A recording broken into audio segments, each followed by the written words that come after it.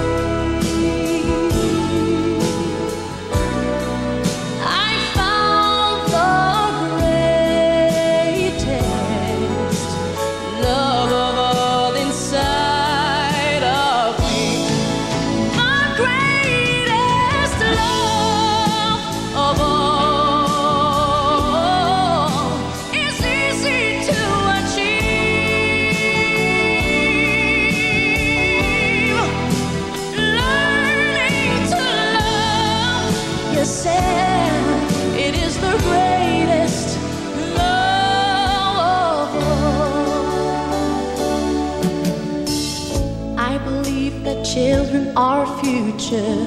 Teach them well and let them lead the way. Show them all the beauty they possess inside.